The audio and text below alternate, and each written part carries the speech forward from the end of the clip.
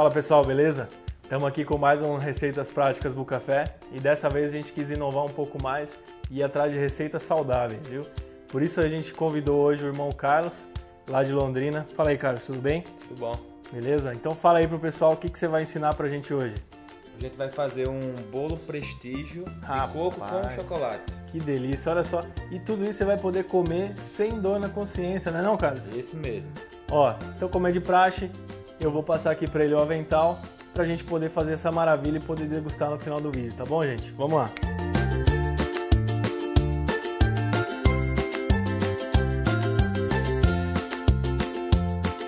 Bom, pessoal, tamo, já terminamos aqui, troquei o avental. Agora, Carlão, é com você. O que, que você vai utilizar aí?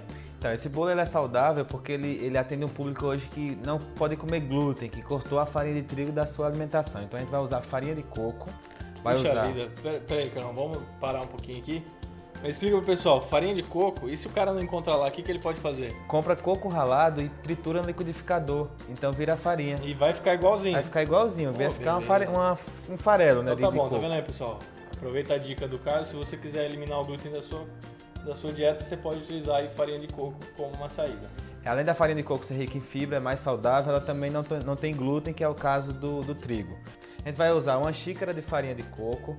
Carlos, por que eu uso só uma xícara, não uso duas xícaras como eu uso da farinha de trigo? A farinha de coco é uma farinha mais seca. Então, se eu colocar duas xícaras, o bolo vai ficar muito seco, então ele tem que ficar molhadinho.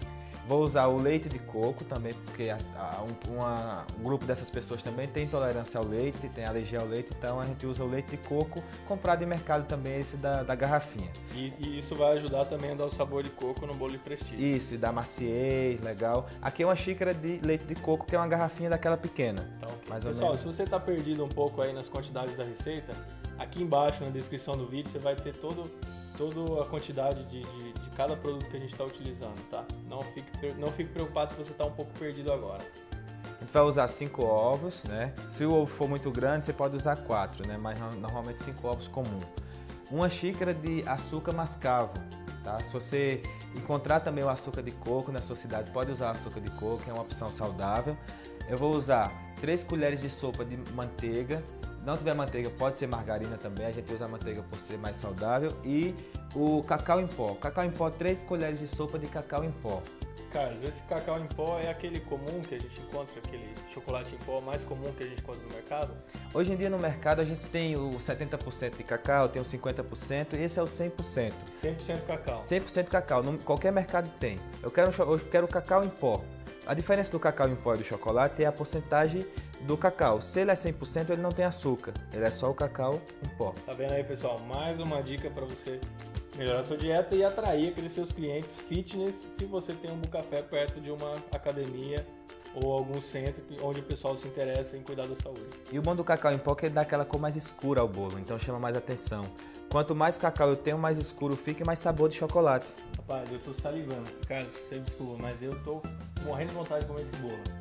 Vamos lá, Carlão, vamos começar esse negócio que eu tô aqui ansioso para comer. E a receita é super, super, mega, hiper fácil. Receita da, da vovó mesmo. É aquela receita que a gente mistura tudo, né? Ô, beleza, essa A eu gente, gosto. não é? Mistura Nada tudo, e, complicado. mistura tudo e bate. Então a gente vai misturar os ovos, misturar os molhados, né? Certo. Os ovos com o leite de coco. E repetindo, né? Uma xícara de leite de coco, Tá. cinco ovos. Eu vou já bater com o açúcar para que o açúcar se dissolva, né? Beleza. Ó, essa é uma dica importante pro pessoal. né? Porque às vezes colocando diretamente na massa ele cristaliza, então o bolo não, não consegue ficar grande, não consegue ficar macio. E batendo junto ele já vai se dissolver aqui na, na massa, na, na- no líquido. E a margarina. E a margarina. Beleza. Carlão, então quando você, enquanto você for batendo aí, eu vou só tirando esses. Tá. Outra coisa também é, é, como eu já estou misturando os secos e os molhados, o cacau em pó vai aqui para o nosso a nossa farinha de coco que é seco, né? E só tem farinha de coco aí, que mais tem? Aí eu já misturei com o fermento, uma colher de chá de fermento, fermento é, branco mesmo, fermento de bolo. É aquele químico comum que a gente Químico encontra comum. né?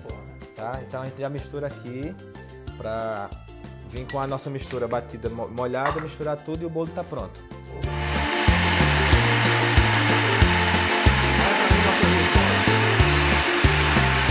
Quanto tempo você bateu aí? Mais ou menos uns 5 minutos, um liquidificador como esse que é potente, ou 6, 7 minutos em um comum. Certo. Porque aí eu não vou ter cheiro de ovo no bolo, né? Olha, Bater bem. Pessoal, mais uma dica aí, tá? E aí vamos misturar aqui com o nosso, nosso seco. O interessante é misturar aos poucos, tá? Para você ir tendo uma, uma dissolução boa da, da massa. Se você tiver aqueles batedorzinhos de, de ovo, não tem aquele que chama fouet, né? Na, o pessoal chama fouet, você vai misturando com fouet. Mas a, a farinha de coco ela é muito fácil de se dissolver. Não é como a farinha de trigo que precisa bater, ó. Você vê que ela já vai, automaticamente ela vai se misturando aqui. Já vai incorporando. É uma farinha legal.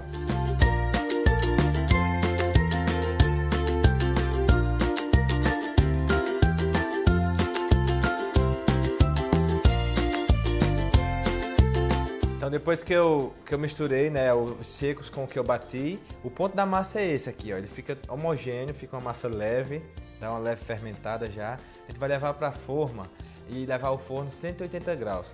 A forma, você pode fazer uma forma redonda com buraco no meio, pode fazer na, naquela forma totalmente redonda, forma quadrada, vai depender do como você quer expor esse, esse bolo aí no bucafé. Eu vou usar essa forma aqui, que é uma forma antiaderente, que é melhor ainda. Ela tem um fundo falso e a gente vai untar ela. Untar um, pode untar até pouco mesmo, porque ela já tem esse, essa aderência, né?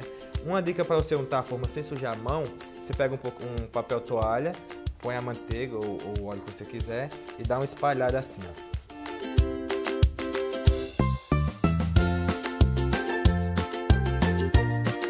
Depois que eu untei a forma, né, a gente vai colocar a massa. Você não vai pôr farinha, nada pra untar, só com manteiga mesmo. Só com manteiga mesmo. Se eu quiser, se eu não estiver usando uma forma antiaderente, eu posso colocar um pouquinho da farinha do coco mesmo. Ah, é? Ou colocar um pouquinho de amido, que é a maisena, amido de milho, porque daí eu continuo deixando sem glúten e vou dar soltar o bolo da forma. Pô, Se não for antiaderente, né? Se for antiaderente como dessas escuras, só a manteiga já basta. Só a manteiga já basta. Bom, enquanto você vai colocando aí, eu vou levar o copo do liquidificador, essas coisas pra lá, pra Tá certo. Tá bom.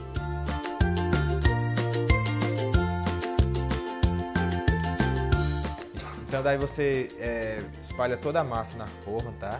Ela é uma massa mais consistente devido à farinha de coco ser uma farinha mais pesada, por isso que a gente usa menos farinha. Dá uma batidinha aqui. Vamos levar para o forno 180 graus durante 20 minutos, tá? Cuidado porque senão fica muito seco. Você tem que lembrar que você está usando uma farinha diferente, não é farinha de trigo. Ah. Então, vê os 20 minutos, coloca a faca lá, quando a faca sair limpa, tá ok.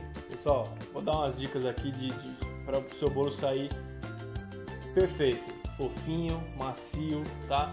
O ideal é você sempre pré-aquecer o forno, tá? E nunca abrir durante os 10, 15, 20 minutos aí de, de, de forno para que a sua massa fique o mais fofa possível, tá? Nosso forno já lá tá pré-aquecendo a 180 graus. E agora a gente só vai colocar a forma e esperar para ser feliz com esse bolo maravilhoso de chocolate de cacau prestígio sem peso na consciência de ter glúten, essas coisas e ganhar um pouquinho de peso. A gente pode comer com consciência tranquila. Isso mesmo. Vamos lá, pouco colocar esse negócio para assar. Bom, pessoal, já terminamos aqui de assar o bolo, deixamos 20 minutinhos lá, 180 graus.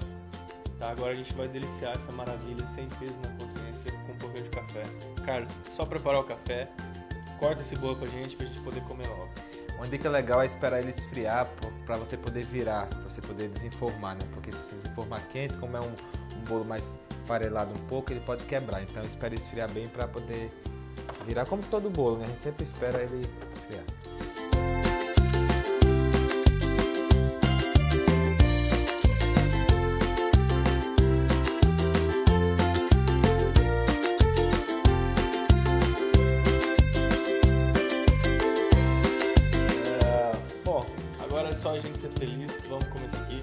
Carlos, obrigado por ter vindo aí. Obrigado, obrigado por ter ensinado essa receita bem saudável pra gente, que é prática, rápida de fazer. Pessoal, não esquece de dar um gostei aqui no nosso vídeo, compartilhar nas redes sociais. E lembre, esse espaço é seu, faça como o Carlos aqui. Venha gravar conosco uma receita que você acredita, que você gosta, que tem sucesso no seu Bucafé. Ou se você quiser que a gente faça uma receita aqui, manda pra nós. A gente está muito interessado em saber o que você tem para dizer. O espaço é seu. Você gostou dessa receita? É, segue lá no Instagram, arroba Carlos Rocha Chef, vai ter bolo, vai ter sobremesas, receitas de drinks com café, muitas outras coisas com essa pegada natural, mas que vai agradar também o nosso público. Arroba Carlos Rocha Chef lá no Instagram.